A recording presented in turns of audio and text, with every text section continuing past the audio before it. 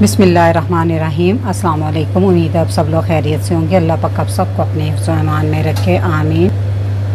जी, आज मैं बना रही हूँ दाल पुलाव, यानी कि दाल, चने की दाल का पुलाव।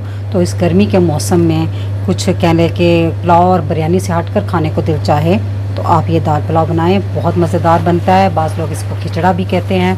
तो रेसिपी शुरू करने से पहले जो लोग मेरे चैनल पर नए हैं, काइंडली वो सब्सक्राइब करें। साथ में बेल के बटन को ज़रूर दबाएँ ताकि मेरी हर नई वीडियो सबसे पहले देख सकें। तो रेसिपी शुरू करते हैं। दाल पुलाव बनाने के लिए मैंने लिए हैं दो गिलास चावल और ये वज़न में चावल होंगे पाँच सौ ग्राम और इनको मैंने आधा घंटा पहले भिगो दिया है और ये दाल ली है मैंने चने की। और ये आध पाव है और वज़न में ये 125 ग्राम है, ठीक है? इसको मैंने एक कप पानी बॉईल करके उबाल लिया हुआ है। पहले इसको मैंने दो घंटे भिगोया था, फिर इसमें एक कप पानी डाल के खड़ी खड़ी दाल मैंने इस तरह बॉईल कर ली है। देख सकते हैं आप किस तरह की है। ठीक है, बाकी जो थोड़ी बहुत कसर है, वो चावलों के साथ पकते हुए पूरी हो जाएगी। तो बाकी मसाले मैं साथ साथ आपको बताती जाऊँगी तो हम इसको पकाना शुरू करते हैं। चूल्हे पे मैंने एक बर्तन रख दिया है तो इसमें सबसे पहले मैं डालूँगी आधा कप आयल और अब इसमें मैं डाल दूँगी एक मीडियम साइज़ की प्याज है जो स्लाइस में कटी हुई है। इसको हम गोल्डन ब्राउन होने तक फ्राई करेंगे। जी, प्याज लाइट गोल्डन ब्राउन हो गई है तो अब हम इसमें कुछ मसाले डालेंगे आँच हल्की करके। वन टीस्पून ज़ीरा, एक बड़ी इलायची, एक टुकड़ा दालचीनी का, आठ दस दाने काली मिर्च के और दो अदद लौंग।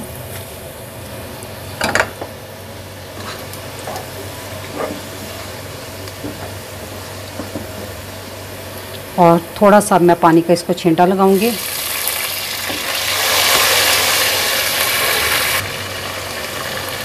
अब मैं इसमें डाल दूँगी वन टेबलस्पून लहसुन अदरक चॉप किया हुआ। आप इसमें पेस्ट भी डाल सकते हैं और इसको एक मिनट तक भून लें इसमें। लहसुन अदरक को फ्राई करने के बाद इसमें हम डाल दें दो बड़े साइज़ के टमाटर लिए थे, उनको मैंने इस तरह पीसीस में काट लिया है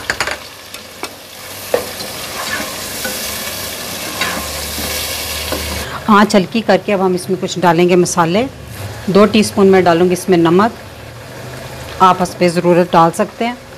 वन टीस्पून इसमें मैं डालूँगी धनिया पाउडर। वन टीस्पून डालूँगी कुटी हुई लाल मिर्च। वन टीस्पून डालूँगी पिसी हुई लाल मिर्च। और क्वार्टर टी स्पून डालूँगी मैं हल्दी। तो नमक मिर्च का इस्तेमाल अपने टेस्ट के मुताबिक कम या ज़्यादा कर सकते हैं।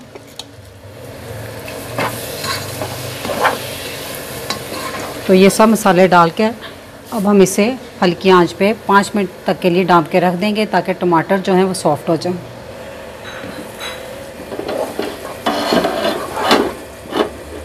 टमाटर देखें सॉफ्ट हो गए हैं तो अब हम इसमें डाल देंगे जो मैंने दाल बॉईल की थी ना वो वाली।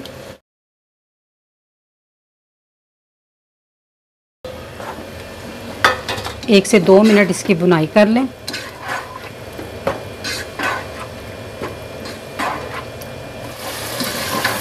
थोड़ी सी बुनाई करने के बाद अब हम इसमें डाल देंगे पानी। मैंने चावल आपको दो गिलास बताए थे तो टोटल पानी हुआ चार गिलास, क्योंकि डबल पानी डलता है इसमें। तो लेकिन हम इसमें साढ़े तीन गिलास पानी डालेंगे, आधा गिलास कम।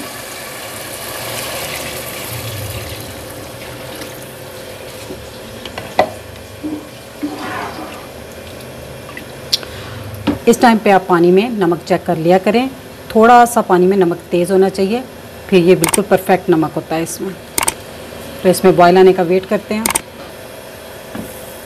पानी में बॉयल आ गया तो अब हम इसमें डाल देंगे चावल। चावलों का सारा पानी आपने अच्छे से निकाल लेना फिर इसमें डालना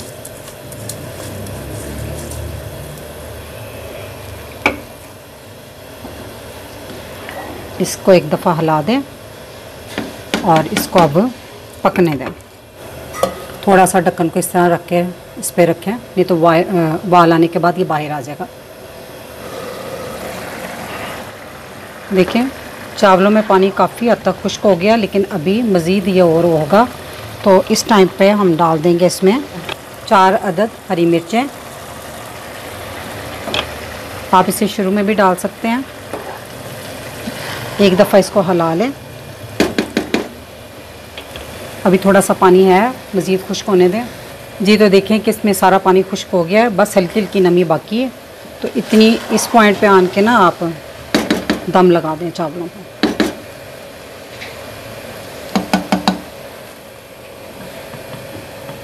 इस सुराख को आप बंद कर लीजिएगा और 10 मिनट का दम लगा दें हल्की सी आँच पे।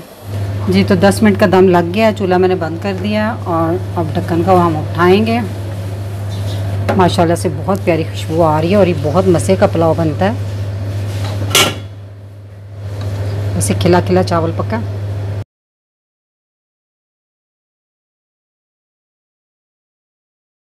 तो अब हम इसे डिश में निकालते हैं।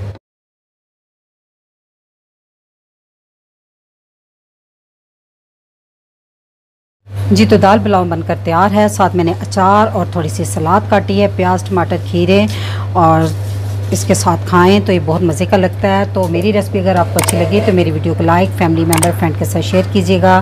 मेरे चैनल को सब्सक्राइब कीजिएगा। अल्लाह पाक आप सबको खुश रखें, मुझे अपनी दुआ में याद रखिएगा। अल्लाह हाफिज़।